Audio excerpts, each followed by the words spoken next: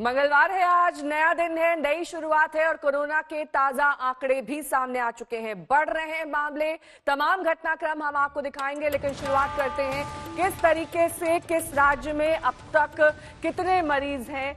सबसे पहले नंबर है, महाराष्ट्र का, नए केस कुल 2400 से ज़्यादा है। उसके बाद मध्य प्रदेश का नंबर आता है, जहाँ पर नए मरीज़ एक सौ चौरानबे।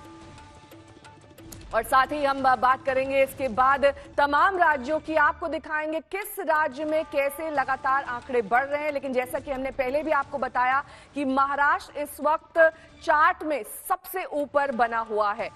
होम आइसोलेशन वाले मरीजों के लिए नए इंतज़ाम किए जाएँगे। ये कहा जा रहा है। साथ ही अब किस तरीके से दिल्ली में इंतजामों को और ज़्यादा दुरुस्त किया जा रहा है? हर ज़िले से सीधे मरीज़ के संपर्क में सरकारी टीमें रखी जाएँगी। यानी कि ज़िले वार तरीके से अब तमाम जगहों को बांट दिया गया है। आज से दिल्ली गाजियाबाद बॉर्डर सील कर दिया गया है। पहले इस बॉर्डर को खोल दिया गया था, लेकिन आज से एक बार फिर से ये बॉर्डर सील हो चुका है। पान, गुटखा, तंबाकू की बिक्री से रोक हट चुकी है। ये राजस्थान का अपडेट हम आपको दिखा रहे हैं। वहाँ पर पूरी तरीके से अब इन्हें अलाउ कर दिया गया है। राजस्थान की अगर बात करें तो वहाँ पर रेड जोन में टैक्सी को इजाज़त दे दी गई है। यानी कि रेड जोन में भी टैक्सी चल सकेंगी। राजस्थान में पार्क खुलने की अनुमति है, यानी कि सैर की जा सकती है। पार्क्स में लोग जा सकते हैं, लेकिन सोशल डिस्टेंसिंग का पालन करना ज़रूरी है। हिमाचल प्रदेश का रुख करेंगे। यहाँ पर कई जिलों में नाइट कर्फ्यू 30 जून तक बढ़ा दिया गया है। नाइट कर्फ्यू यानी कि शाम सात बजे से सुबह सात बजे तक। कई जिलों में ये नाइट कर्फ्यू लागू है। आज से घरेलू उड़ानें आंध्र प्रदेश में शुरू कर दी गई हैं। देश भर में कल से शुरू हुई थी, लेकिन आंध्र प्रदेश में आज से शुरू हो चुकी हैं। खबरों के सिलसिला को आगे बढ़ाते हैं, बात करते हैं दिल्ली की ही, दिल्ली से सटे नोएडा में एक सोसाइटी को सील करने पर पुलिस और यहाँ रहने वालों के बीच काफ़ी ज़्यादा विवाद हुआ। पुलिस नोएडा एक्सटेंशन स्थित एक सोसाइटी सील करने पहुँची, लेकिन वहाँ रहने वालों ने पूरी सोसाइटी सील करने का फैसले का विरोध किया। रेजिडेंट का यह कहना था कि पूरी सोसाइटी सील होने से वो नौकरी पर नहीं जा सकेंगे, उनकी नौकरी चली जाएगी, इसलिए नौकरी पेशा लोगों को आने जाने की छूट दी जाए। आपकी ना कोई सैलरी कटेगी? आपको वो खुद ही नहीं बुलाएँगे। मैंने क्या कहा?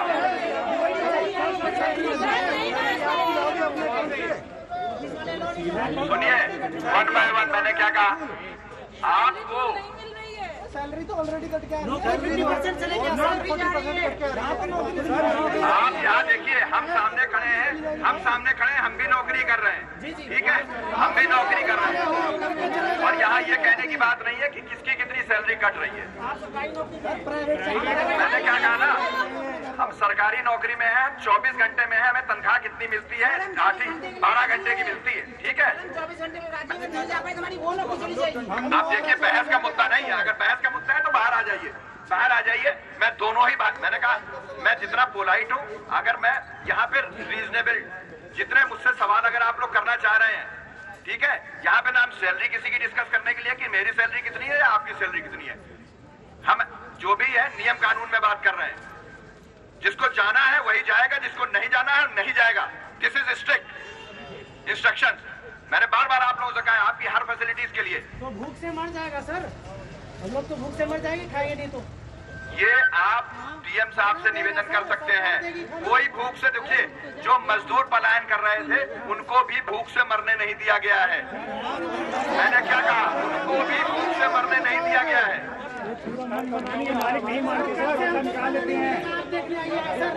मैं क्या कह रहा हूँ? अगर ऐसे सुनिए, मैंने क्या कहा है?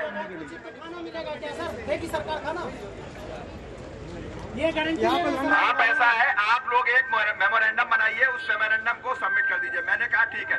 टैक्स वहीं दिल्ली में नौकरी करने वाले गाजियाबाद के लोगों के लिए आज से फिर से परेशानी का सबब है, क्योंकि गाजियाबाद में कोरोना केस बढ़ने के बाद जिला प्रशासन ने दिल्ली गाजियाबाद बॉर्डर को एक बार फिर से सील कर दिया है। बॉर्डर सील के फरमान के बाद सुबह सुबह सीमा पर ट्रैफ़िक जाम की स्थिति पैदा हो गई।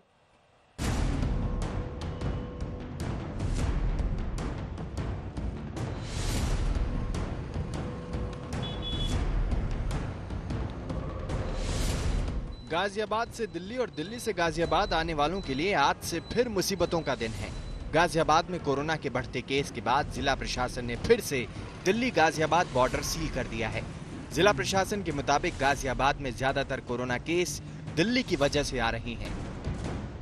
दिल्ली गाजियाबाद बॉर्डर सील हो गया है। गाजियाबाद प्रशासन ने गाजियाबाद की तमाम सीमाओं को सील करने का निर्णय लिया और उसके बाद एक बार फिर से सुबह से ही जो जाम है वो लगने लगा है। यहाँ अगर आप देखेंगे कि किस तरह से जो गाड़ियों की कतारें हैं वो सुबह से ही लगने लगी हैं क्योंकि जो प्रशासन है वो हर गाड़ी को यहाँ पर चेक कर रहा है। आ, केवल विशेष सेवाओं ज़रूरी सेवाओं वाली गाड़ियों को ही अनुमति मिलेगी वो भी आई कार्ड दिखाकर। डॉक्टर स्वास्थ्य कर्मी पुलिस बैंक कर्मियों पत्रकारों को आई कार्ड के साथ आने जाने की छूट होगी, लेकिन दिल्ली से हॉटस्पॉट एरिया से आने वाले किसी भी शख्स को आने नहीं दिया जाएगा। आदेश में कहा गया है कि जो लोग दिल्ली के सरकारी दफ्तरों में काम करते हैं, वो हर हाल में सुबह नौ बजे तक गाजियाबाद सीमा छोड़ दें। शाम को छह बजे के बाद ही आप दिल्ली से वापस आएँगे गाजियाबाद की सीमा में। और सुबह नौ बजे से पहले आप लोगों को दिल्ली में जाना है। वो भी पास के साथ। अगर आपके पास पास नहीं होगा तब भी आपको सुबह नौ बजे से पहले भी एंट्री नहीं दी जाएगी दिल्ली यूँ तो बॉर्डर सील करने का आदेश आज से लागू हुआ है लेकिन कल जिलाधिकारी का आदेश आने के बाद से ही बॉर्डर पर चेकिंग शुरू हो गई जिससे जाम लगना शुरू हो गया था। जब यहाँ पर अब पूरा ट्रैफ़िक खुल चुका है ऑफ़िस खुल चुके हैं सरकारी ऑफ़िस खुल चुके हैं प्राइवेट ऑफ़िस खुल चुके हैं तो वो लोग शाम को ऑफ़िस से घर आएँगे तो। गाजियाबाद में कल कोरोना के चार नए मामले सामने आए। इस तरह कुल केस की संख्या 231 हो गई। हालाँकि इसमें एक लोग सही हो चुके हैं। एक्टिव केस सिर्फ़ सैंतीस हैं।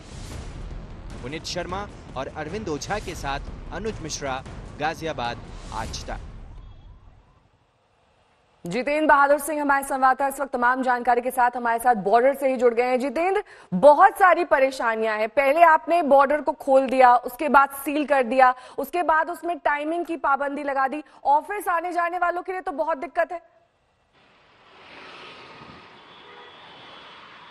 बिल्कुल नेहा, ऑफ़िस आने जाने वालों को बहुत ज़्यादा दिक्कत है। पहले एक बार इस तरीके की यहाँ से गाजियाबाद प्रशासन की तरफ़ से कहा गया था कि बॉर्डर को सील किया जाएगा और उनको ये लगता है कि दिल्ली के हॉट स्पॉट इलाके से जो लोग आ रहे हैं, उनकी वजह से इस तरीके की घटना को अंजाम हो रहा है और यहाँ पर कोरोना संक्रमण फैल रहे हैं।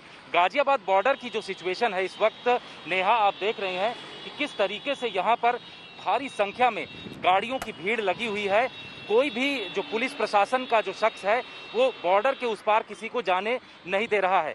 जो भीड़ है, पूरी करीब दो किलोमीटर लंबी यहाँ से लेकर के आगे जो पूरा नेशनल हाईवे है, इस हाईवे पर लंबा जाम लगा हुआ है।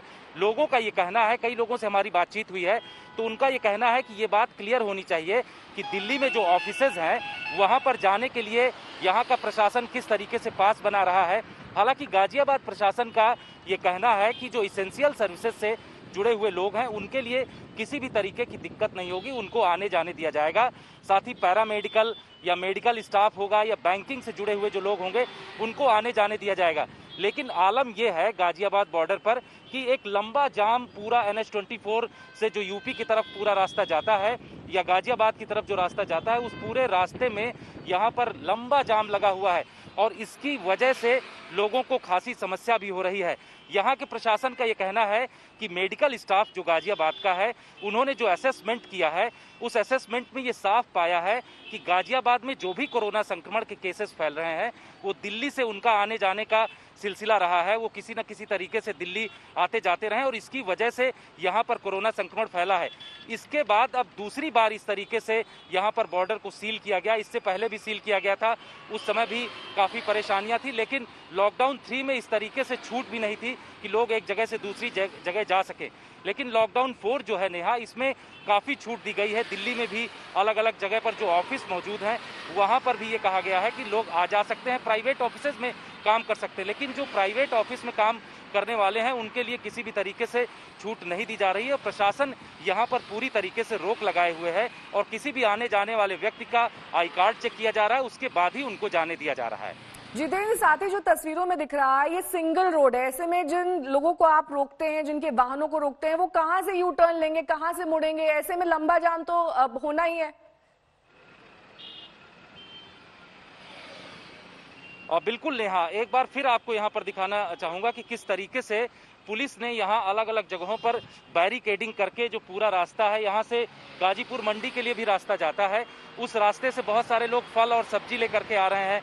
उनको भी पूछताछ पुलिस की तरफ़ से की जा रही है, लेकिन क्योंकि वो इसेंशियल सर्विसेज़ से जुड़े हुए हैं, इसलिए उनको जाने दिया जा रहा है। लेकिन बहुत सारी आप गाड़ियाँ जो लाइन में देख रही हैं, इससे पूछताछ जब इनसे की जाती है तो कई लोगों को ये भी पता नहीं है कि उनके पास जो आइडेंटिटी कार्ड है उसके ज़रिए उनको आने जाने दिया जाएगा नहीं। इस तरीके के यहाँ पर जो कदम उठाए जा रहे हैं तो प्रशासन को इसमें ये देखना पड़ेगा कि जिन लोगों के ऑफिसेस खुले हैं उनको किस तरीके से आने जाने की छूट मिलेगी। हालाँकि ये कहा गया कि 9 बजे के पहले जिन लोगों को दिल्ली में जाना है वो लोग काम करने के लिए जा सकते हैं और 6 बजे के बाद वो लोग अगर आएँगे तो उनको किसी भी तरीके से यहाँ पर छूट देने की कोशिश की जाएगी।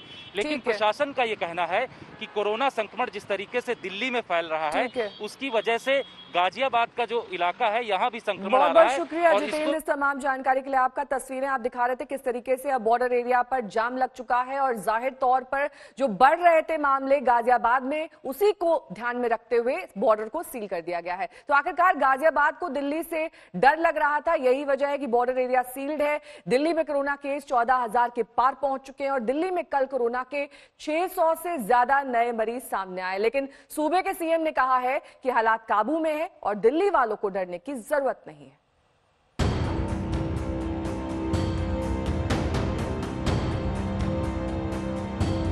कोरोना की दहशत ने दिल्ली वालों को परेशान कर रखा है। बढ़ते हुए आंकड़े दिल्ली को डरा रहे हैं। लेकिन दिल्ली के मुख्यमंत्री दिल्ली वालों को भरोसा दे रहे हैं कि डरने की कोई ज़रूरत नहीं है। हालात नियंत्रण में है। लॉकडाउन 17 तारीख को लॉकडाउन में काफ़ी ढील दी गई थी। एक हफ़्ता हो गया। आज एक हफ़्ते के बाद मैं ये कह सकता हूँ कि स्थिति नियंत्रण में है और कोई भी घबराने वाली बात नहीं है। सरकार ये यकीन तब दिला रही है जब कोरोना केस लगातार बढ़ रहे हैं। आपको बता दें कि दिल्ली में कोरोना संक्रमितों का आंकड़ा चौदह हज़ार तिरपन हो गया है। 635 नए संक्रमित मिले हैं। दिल्ली में कोरोना से अब तक 261 लोगों की मौत हुई है। कोरोना के बढ़ते केस को देखते हुए दिल्ली सरकार कुछ नए इंतज़ाम करने जा रही है। दिल्ली में जो कोरोना मरीज़ होम आइसोलेशन में हैं, उन तक ज़रूरी चीज़ें पहुँचाने के लिए हर ज़िले में टीम तैयार करने को कहा गया है। ये टीम सीधे मरीज़ के संपर्क में होगी। साथ ही दिल्ली के 117 अस्पतालों को निर्देश दिए हैं कि वो अपने अस्पताल के 20 फ़ीसदी बेड कोरोना मरीजों के लिए आरक्षित रखेंगे। दिल्ली के 117 प्राइवेट अस्पतालों में ऑर्डर जारी कर दिए कि 20 परसेंट उनको अपने बेड कोरोना के लिए रखने पड़ेंगे। तो इससे प्राइवेट सेक्टर के अंदर, जो प्राइवेट अस्पताल है, उनके अंदर लगभग 2000 नए बेड्स आज से अवेलेबल हो गए हैं। इन इंतजामों के बीच कोरोना के नए मामले सरकार की चिंता बढ़ा रहे हैं। पूर्वी दिल्ली के मंडावली थाने का एक सब इंस्पेक्टर कोरोना पॉजिटिव मिला है। सब इंस्पेक्टर को घर में ही क्वारंटीन कर दिया गया है। तंसीम हैदर के साथ चिराग गोठी, दिल्ली, आज तक। मुंबई का अब रुख करेंगे, जहाँ कोरोना के मामले इतनी तेज़ी से बढ़ रहे हैं कि जल्द ही ये शहर दुनिया का सबसे बड़ा कोरोना हॉटस्पॉट बन सकता है। दुनिया के दूसरे तमाम बड़े शहरों ने बहुत हद तक कोरोना पर काबू पा लिया है, लेकिन मुंबई में हालात हाथ से फिसलते दिख रहे हैं।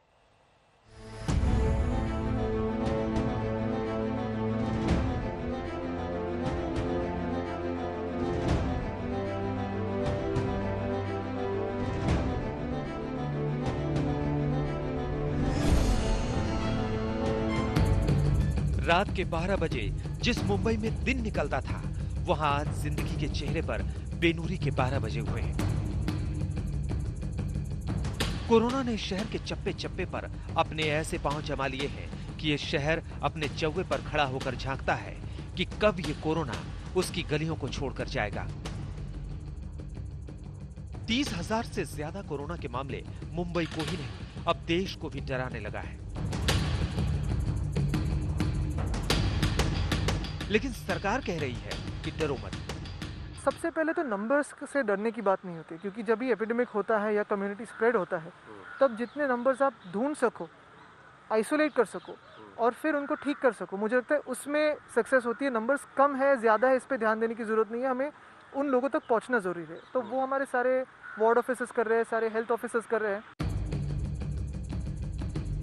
डरना कोई कोरोना का समाधान नहीं है लेकिन मुंबई सिर्फ़ देश का ही सबसे बड़ा कोरोना शहर नहीं है बल्कि दुनिया का नंबर वन शहर होने की दिशा में बढ़ चुका है। अभी रूस की राजधानी मॉस्को के बाद मुंबई दुनिया का सबसे बड़ा कोरोना हॉटस्पॉट शहर है। लेकिन जिस रफ्तार से यहाँ कोरोना बढ़ रहा है इसमें जल्द ही ये मॉस्को को भी पीछे छोड़ देगा।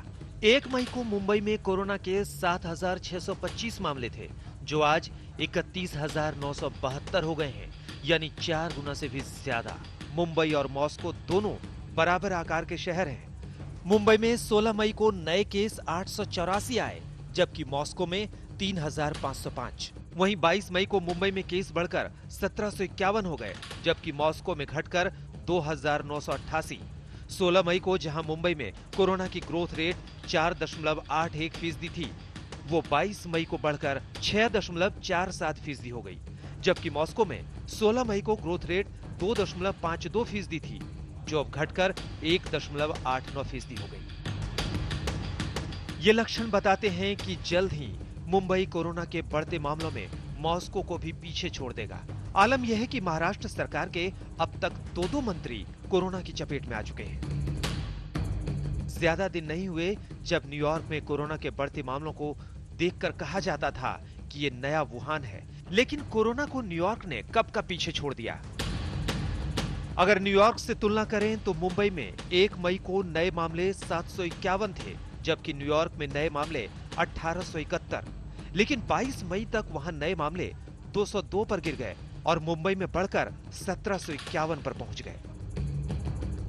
न्यूयॉर्क ने तो बहुत हद तक कोरोना पर काबू पा लिया, लेकिन मुंबई की किस्मत में वैसे अच्छे दिन अभी आए नहीं है। वैसे सरकार का दावा है कि जून के पहले हफ़्ते तक मुंबई में 9000 बेड तैयार कर लिए जाएँगे जबकि प्राइवेट अस्पतालों में भी 80 फ़ीसदी बेड कोरोना मरीजों के लिए होंगे।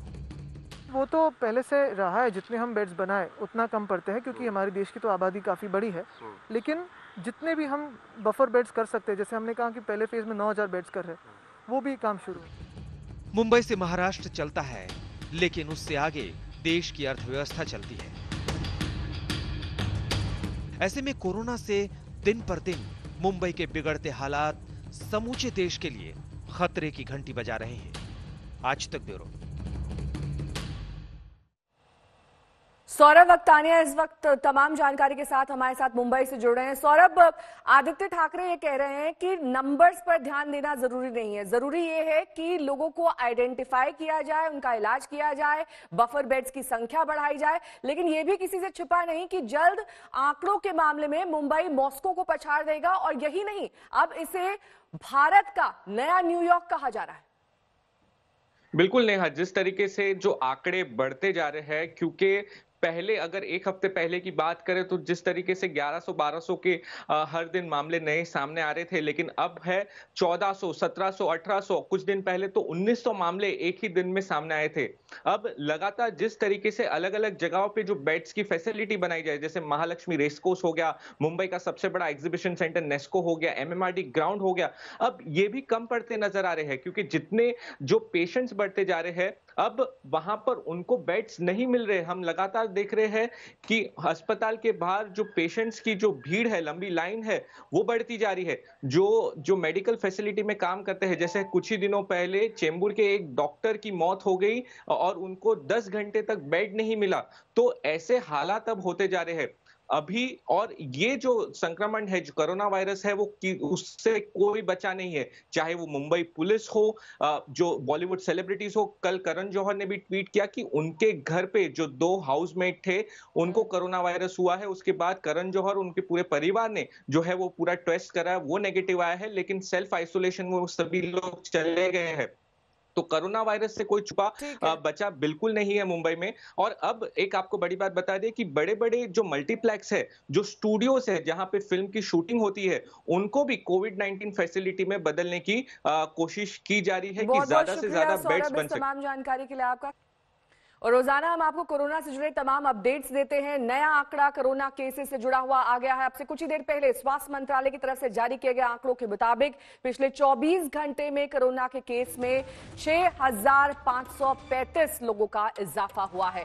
देश भर में कोरोना केसेस की संख्या एक लाख पैंतालीस हज़ार के पार पहुँच गई है। पिछले 24 घंटे में एक सौ छियालीस मरीजों की जान गई है। मरने वालों की कुल संख्या चार हो गई है। अच्छी बात यह है कि पिछले 24 घंटे में 2,770 मरीज़ ठीक भी हुए हैं। अब तक 60,000 से ज़्यादा मरीज़ इलाज के बाद ठीक हो चुके मजदूरों के लिए रोज़ाना सैकड़ों ट्रेन चलाई जा रही है लेकिन इनमें से कुछ ट्रेन ऐसी हैं जो बहुत देर से अपनी मंजिल तक पहुँच रही हैं। रास्ते में भूख प्यास गर्मी से मजदूर परेशान हैं। हालात यह है कि 30 घंटे का सफ़र चार दिन में तय किया जा रहा है।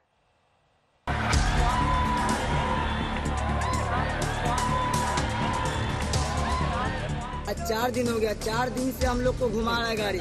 नहीं पानी है, नहीं खाना है। चार दिन से हम लोग इसी गाड़ी में है। पब्लिक मांग कर रही है मोतिहारी के लिए, वो बोल है दरभंगा के लिए। ट्रेन रास्ते में रुकी तो सारे मजदूर ट्रेन से बाहर निकल पड़े। तपती गर्मी में सैकड़ों की संख्या में मजदूर ट्रेन के इंजन के पास जाकर भी हंगामा करने लगे। श्रमिक स्पेशल ट्रेन महाराष्ट्र के कुर्ला से आ रही थी और बिहार में बाढ़ के पास ये हंगामा हुआ। मजदूरों का कहना है कि उन्हें मोतिहारी का टिकट दिया गया है और ट्रेन पिछले चार दिनों से उन्हें घुमा घुमा कर ले जा रही है।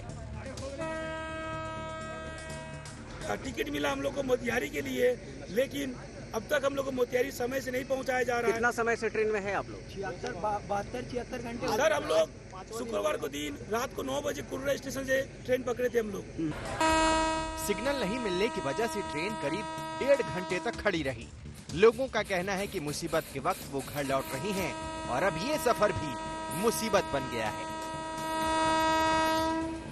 हम लोग यहाँ पैसेंजर जितना है आधा से ज़्यादा पैसेंजर मोतिहारी का है। टिकट भी हम लोग को मोतिहारी का दिए गया हुआ है। फिर भी फिर भी बोल रहा नहीं दरभंगा जाएगा गाड़ी दरभंगा जाएगा मधुबनी जिला जाएगा। श्रमिक स्पेशल ट्रेनों को लेकर ऐसी शिकायत कई जगहों से आ रही है। दिल्ली से बिहार की मोतिहारी जा रही ट्रेन चार दिन में समस्तीपुर पहुँची। एक मजदूर परिवार को यही उतरना पड़ा क्योंकि पत्नी की तबीयत अचानक खराब हो गई। दर्द से तड़पती महिला ने प्लेटफॉर्म पर ही बच्चे को जन्म दे दिया।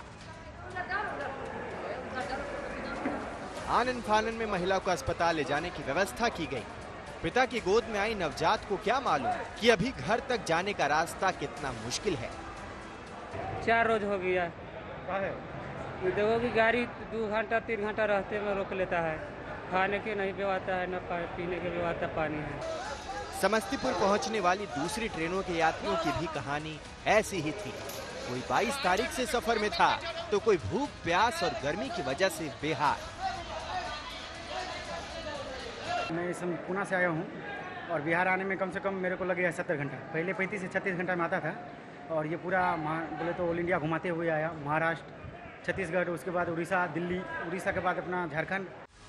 रेलवे प्रशासन का कहना है कि ट्रैक खाली नहीं मिलने की वजह से रूट डाइवर्ट किया जा रहा है। कोशिश की जा रही है कि मजदूरों को खाना पीना दिया जा सके। बाढ़ से धर्मेंद्र कुमार के साथ जहांगीर आलम, समस्तीपुर, आज तक।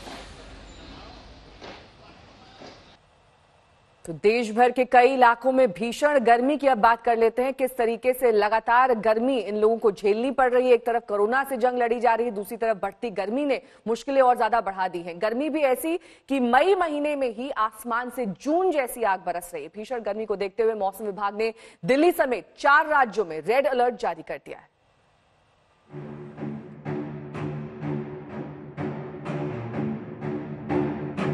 दिल्ली, लखनऊ भोपाल, जयपुर, गुरुग्राम जैसे देश के इन बड़े शहरों में आसमान से आग बरस रही है। आज भी इन शहरों का अधिकतम तापमान 45 डिग्री रहने का अनुमान है। भीषण गर्मी में जिस कोरोना वायरस के मरने की आस लगाई थी, उस गर्मी में वायरस तो नहीं मर रहा। हाँ इंसान का शरीर ज़रूर झुलस रहा है। पैदल घर जाते मजदूरों के लिए ये तो गर्मी करेले पर नीम चढ़ी जैसी हो गई है। एक तरफ़ कोरोना का डर दूसरी तरफ़ लू के थपेड़े। इंसान जाए तो जाए कहाँ? महाराष्ट्र के अकोला में तो गर्मी ने सारे रिकॉर्ड तोड़ दिए हैं। पारा सैतालीस दशमलव चार डिग्री के पार पहुँच गया है। दस साल में ऐसी गर्मी नहीं पड़ी। मौसम विभाग की माने तो अगले दो से तीन दिन में तापमान और बढ़ेगा। लोगों को घरों में रहने और ज़्यादा से ज़्यादा पानी पीने की सलाह दी गई है। विदर्भ के चंद्रपुर शहर में भी आसमान से आग बरस रही है। सैतालीस डिग्री वाली गर्मी के आगे कूलर, एसी भी जवाब दे रहे हैं। राजस्थान के धौलपुर में भी गर्मी लोगों की अग्नि परीक्षा ले रही है। सोमवार को यहाँ अधिकतम तापमान छियालीस दशमलव चार डिग्री पहुँच गया। गर्मी इतनी बढ़ गई है कि लॉकडाउन के ढील के बाद भी लोग दिन में घर के बाहर कदम रखने की हिम्मत नहीं जुटा पा रहे। इस समय गर्मी का प्रकोप भरपूर पड़ रहा है। व्यापारी भी परेशान है। बाज़ार में ग्राहक भी कम उपलब्ध हो रहे हैं। इस कारण इस समय गर्मी का टेम्परेचर 46 डिग्री टेम्परेचर के आसपास है। 46 से सैंतालीस डिग्री टेम्परेचर अभी इस समय चल रहा है। कोरोना प्रमुख वजह है और गर्मी दूसरी बड़ी वजह है। तो प्रशासन से अनुरोध है कि कृपया इस भीषण गर्मी में जनता को राहत दिलाने के लिए पानी के छिड़काव की व्यवस्था और इस तरह की व्यवस्था करवा जाना सुनिश्चित करें। ग्वालियर का हाल देख लीजिए। पारा छियालीस डिग्री के पार है। चिलचिलाती गर्मी की तस्वीरें देखकर ही पसीना छूट जाए। सिर्फ़ ग्वालियर नहीं मध्य प्रदेश के छतरपुर ज़िले में भी गर्मी गदर मचा रही है। पारा छियालीस डिग्री तक पहुँच गया है। खुले आसमान के नीचे पाँच मिनट खड़ा होना भी चुनौती बन गया है।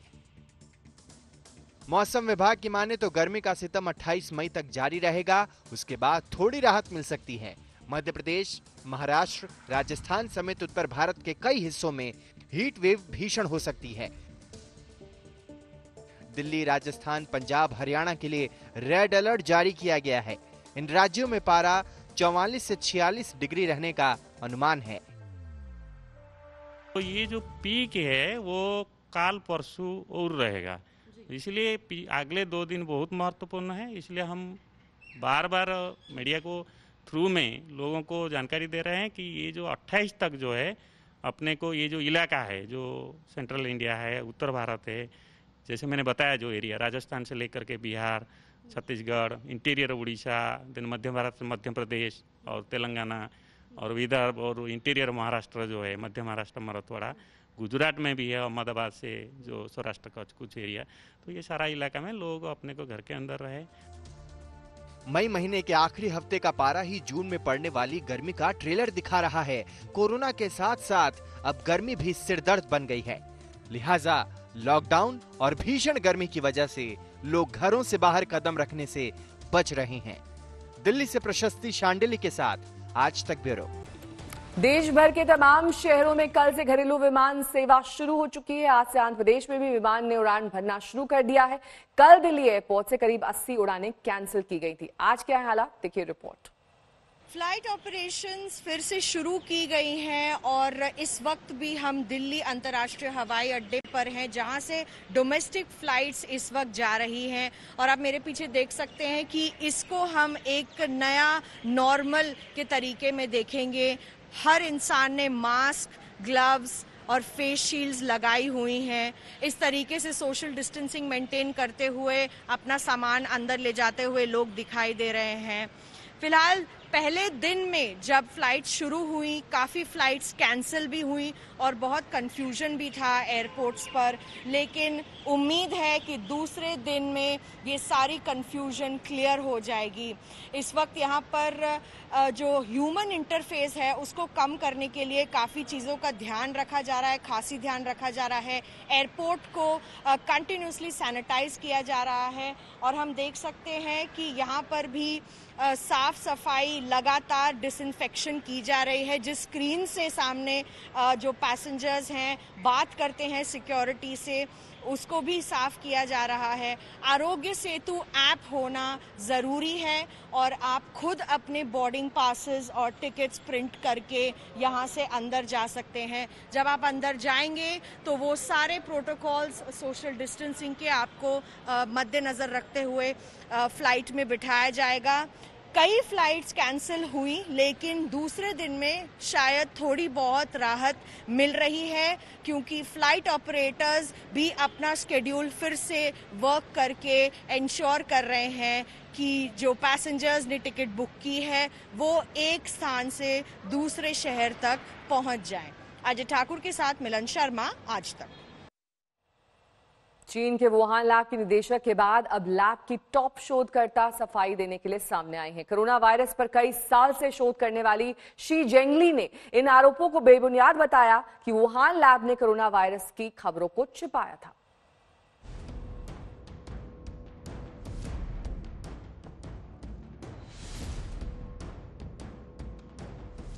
चीन के वुहान स्थित विषाणु विज्ञान संस्थान से पूरी दुनिया में कोरोना वायरस फैलने के अमेरिका समेत कई देशों के आरोपों के बीच जवाब देने के लिए वुहान लैब के प्रोफेसर शी जेंगली सामने आई।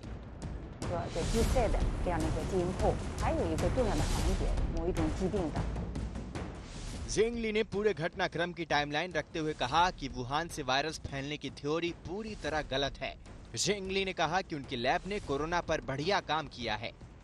呃，我觉得我们这次工作做得非常的漂亮，我们可以说是在很短的时间内，没有耽误一天的时间，在同时同步进行，完成了病原的分离、基因组测序以及动物感染实验。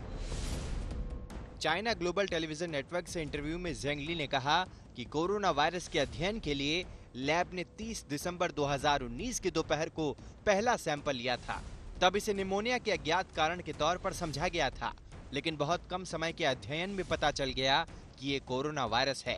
जेंगली के मुताबिक रोगाणु का क्रम चूँकि पहले से ज्ञात वायरस से अलग था, इसलिए इसका नाम नोवल कोरोना वायरस रखा गया।